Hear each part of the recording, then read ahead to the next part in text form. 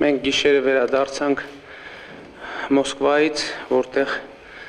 աշխատանքային այցով էի գտնվում եւ ուզում եմ ասել, որ արդյունավետ այց ունեցանք եւ կարող ենք արձանագրել, որ հայ-ռուսական հարաբերությունները զարգանում են դինամիկ եւ լավ տեմպերով, շատ տարբերի լավ տեմպերով, քան ընդունված է կանխատեսել հայկական եւ ոչ միայն հայկական մամուլում մենք կարող ենք արձանագրել, որ մեր հարաբերություններում խնդիրներ չկան եւ անհրաժեշտ է աշխատել,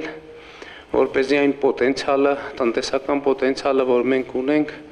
լիարժեք իրականացվի, իհարկե այցի արդյունքներով մենք բազմաթիվ նախարարությունների նախարարների հետ զրույցներ կունենանք եւ կլինեն կոնկրետ հանձնարարականներ, այս պահին ես ուզում եմ ընդհանրեն արձանագրել, որ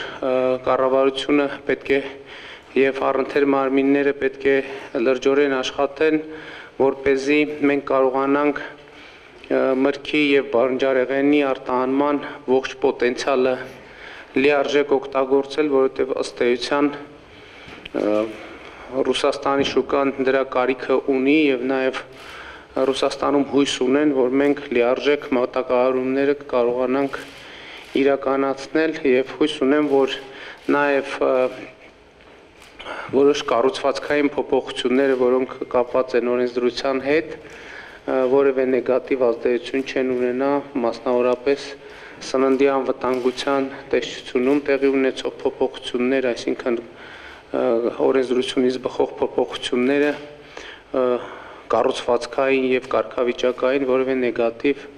ազդեցություն չեն ունենա այս գործընթացի վրա